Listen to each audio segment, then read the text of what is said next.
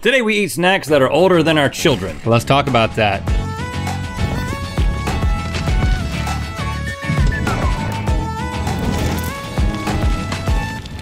Good mythical morning. Losing a favorite snack to discontinuation is one of the hardest non-problems you can have. But still, it does hurt. Yeah, and there are some snacks that should definitely be discontinued, like rice cakes, beet chips, and those carrots handed out by that old lady down the street. Oh, I steer clear of that lady. but there are other snacks that have been discontinued that should be recontinued because they never should have stopped continuing. it's time for To Be Discontinued Snacks Edition.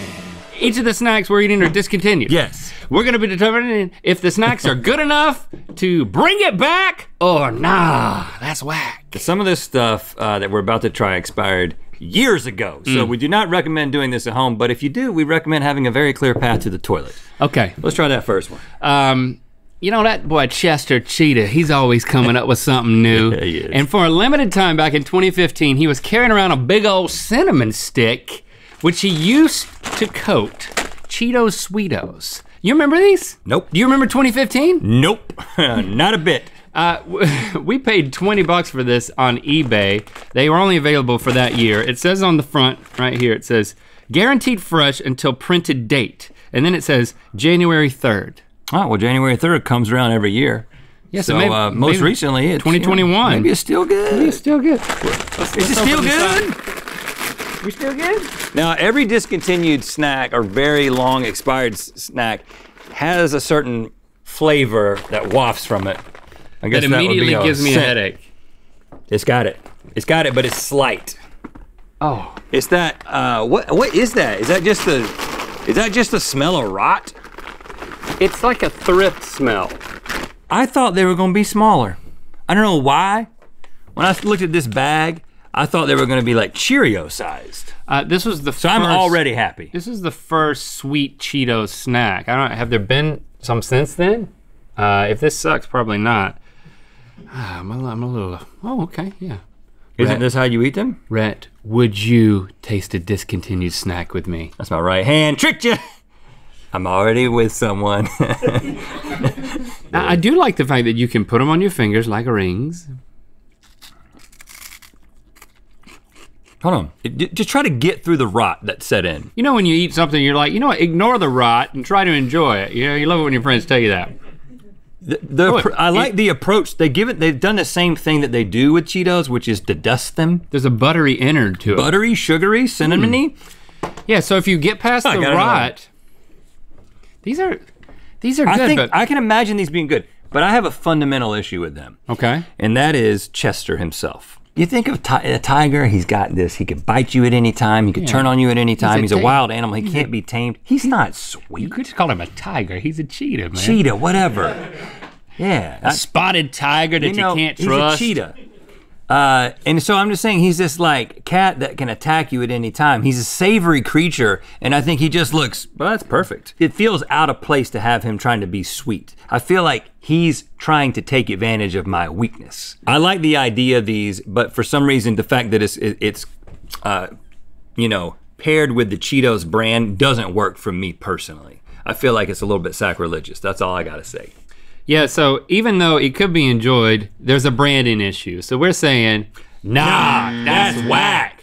Hey, a new two-man vlog dropped Saturday on the Rhett and Link channel, and those two men are us. So we want to remind you, we're vlogging every Saturday. So subscribe, click that bell, watch us out and about in our lives, filming each other. Yes, thank you. Okay, next up we have Mountain Dew Pitch Black 2, which was released just in time for Halloween in 2005. Okay, this expired or was discontinued in 2005. It was a reprisal of uh, Pitch Black. It's a sequel to Pitch Black, Yeah, it, sa- it says limited edition right on it. So right from the beginning, they knew they weren't. This thing wasn't going to well, last. but hold on. I don't remember and I have never heard of Pitch Black, the first one. it still exists. And then they brought a second one. It's a grape soda, and then this is the same grape soda with a sour bite. So let's open this. But if nobody cares about the first time around, why do it again? That's like Daddy's Home 2. I didn't see that. Exactly. I didn't Did see you see Daddy's Home? Home? No. Exactly. That's not a good name for a movie. Daddy's home, home. Now, did you say this was twenty dollars on eBay? I said it was $20 on eBay. Now I did. Okay. Now, liquids don't have the same rot factor that that solids, bagged solids do. Now I'm not gonna down the whole can. With a twist of sour. Why not? I bet you, I'll give you $10 if you down the whole can. Now, if you look at the color of this stuff, it's not black. I like sour things. Look at the color of it. Now that's an exciting color. Why you gotta go- why you gotta say it's black? Nothing black about it. Maybe it was black in 2005. It doesn't make sense for some to name something that has a flavor after the color, not the flavor. Just, that's just Well, pitched green doesn't make any sense. well, that's true. I kind of like this. I think I might watch Daddy's Home 2 now. I think I'm just gonna, I'm going to start with Daddy's Home too. It's um. Can you just start with that? Do you have to go back to the original one? You don't know. You haven't seen it. Who's seen Daddy's Home? when you, it's got Mel Gibson's in the second Okay, one. Zach. Should I just can I start with two? Oh, sure. Oh sure, he says. He said I could. He said, "Oh, sure." with two. Uh, I don't like this. The, the sour part makes it taste too much like candy. I like the sour part. well, it you know it's got that Red Bull candy-ish type vibe going on. but I'm, I just I'm don't, a fan. I don't drink this kinds of drinks anymore.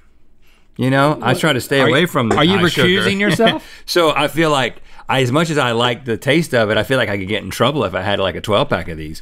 Me at home alone with the 12 pack of Pitch Black 2, So I don't like it. watching in, Daddy's Home 3. in order to protect Rhett from himself, we are saying for this one, nah, that's whack. Ever wonder what a 25 year old bag of hard candies tastes like? yeah. Me neither. But we're about to try these Hershey's Taste Stations for 1995 to find out. Is this a stupid idea? 1995. Well, it's hard candy. Hard hard stuff can't rot. All these years, it's still new, and this is a trial pack. So this is the oldest, probably the oldest version of Taste Stations when they're just trying to get people to try it without buying. Yeah, we got butterscotch, we got caramel, we got chocolate, and we got peppermint, and they're pre they're double wrapped. So you know it's still good. It was wrapped and then it was wrapped again. I don't like butterscotch. What's this? Peppermint? Peppermint. Try the chocolate. I'm just gonna try the chocolate. I'll try the caramel. Um, that looks a little, a little, little messed up, y'all. Smell that. The rock got through the double wrapping.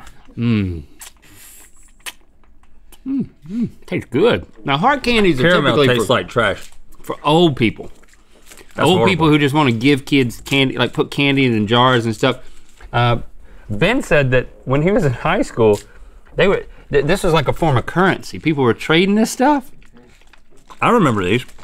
He went to high school in prison. That's what, that's what I think. Um, Butterscotch is better. they're good. I think you might have gotten the best flavor. Is there another thing that still exists now that would compel us to say, oh, I'll just get the chocolate Werther's. I don't. We don't need to bring this back. Isn't there a hard chocolate thing you can suck on in the world right now? Like a Tootsie Roll is too soft. But a Tootsie Roll is just right. I think this needs to come back. I like the name. Because we can't, off the top of our head, think of anything hard and chocolate to suck on besides a Tootsie Roll. We're saying, Bring it back! Okay, the next snack we're trying is Simpsons themed popcorn from Israel. Uh, this stuff was sold in 1991, which means it's 29 years old, which is only a couple of years less than how long the Simpsons have been on the air. Yeah, uh, that was 1989. So, Uh, we paid $25 for Whoa, this we're on. blowing our budget. Guys, listen, you got to run this stuff by us. Hold your horses. Now, look at that. It, so this never made it to America. It did now, brother. Man, this this can't be great. All right, let's open I this like up. interesting popcorns. That's one of the things I'm into. Did, didn't Bart Simpson say, "Eat my shorts"? Yep. Th- They should have shorts that you eat, and that should be something. They probably did. It was probably a cereal, short cereal. Oh. Has it got the smell? Has it got the smell of? It's got that Oh, thrift. wow, smell. I don't even have to get close to it. Oh, it's bad. I mean, it. Whoa, it is so strong. it's it instantly gives you a headache. there is something that happens. I feel like I think scientists should study this. I mean, there Yeah, is a yeah. there is a specific smell that comes from things that are rotting, and there needs to be more science around that. Gosh. I, Things that have like preservative, I'm not gonna eat that. 'cause touched that's it gonna to my give me, it's gonna give me a headache. Ba- basically, this is just It's just popcorn. It's just popcorn. Do we need Simpsons themed popcorn? Is the question that I- we're asking. There's there's nothing that's making me excited. You'd rather eat your shorts. I'd rather eat shorts. All right, so we're saying, nah, that's whack. This little bag of peanuts that we're about to eat could be 72 years old. I, I mean, they're at least 32 years old. They could be 72 years old. Um, it comes from a discontinued airline, PSA, that's Pacific Southwest Airlines, which operated out of San Diego between 1948 and 1988, which brings us to the 32 to 72 years old. Um, we paid $28.08 Oh wow! on eBay for these. so these are a hot commodity on eBay. Um, you Made want by the Pacific Nut Company, I'm gonna open Chino, this. California. Should we open both of them? Now leave those closed because what I've just discovered is that ain't the typical color of a peanut. Well, hold on. Have you ever seen a peanut from the past? I mean, it's so brown, I gotta take it off the brown desk and put it on a paper towel. What if peanuts have just undergone slight evolution and and they've been changing color for the last 72 years and no one's really thought about it because it's happened so slowly. And if you were to look at pictures of peanuts from 1942, 48, you'd be like, you know what? They were real brown back in the day until agricultural mono monoculture and big farm, big farm. Um, Rhett, I want you to go where no man has gone before and eat a 72 year old peanut first. You be like Armstrong stepping his foot down, say, saying a slogan. 72 year old nuts. Isn't there like a grinder for old people? Like one big enough to put old people in?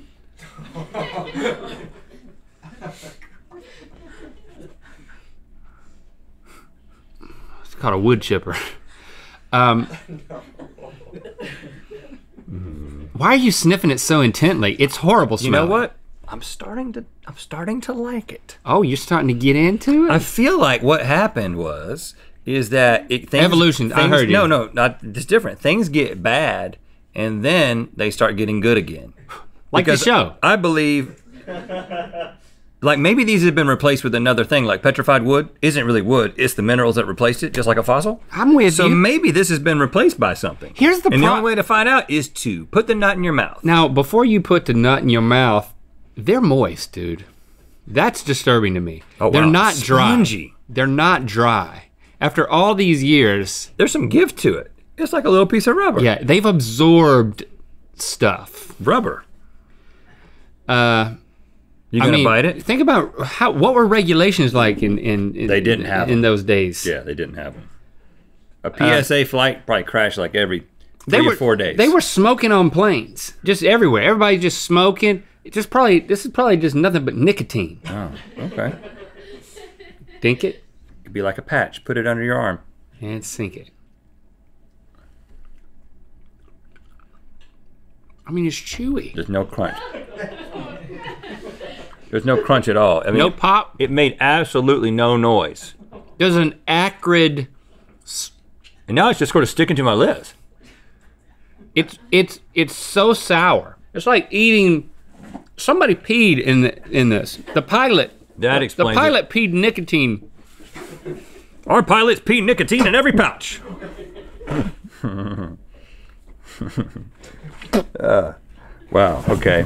But you know what? Did we really have? Hold on. Look, you, we I- really I- have to answer the question Yeah. whether or not we should bring back peanuts on planes. Yeah, I, I just I think we need more peanuts on planes. Let's just recenter. Like I know. we ate 72 year old peanuts just to determine if something that already happens on every plane should continue to happen on every plane. Yeah, we, they really pulled one over on us this time. But we got the clicks, and we are saying, nah. Bring it back. Yeah, bring it back because it's just peanuts on planes. They, they they're not gone, Rhett. They're not gone. But if they ever do go away, they should be brought back. Okay, I, I'm with that. If peanuts ever go away from planes, they should be brought back. So Bring it back.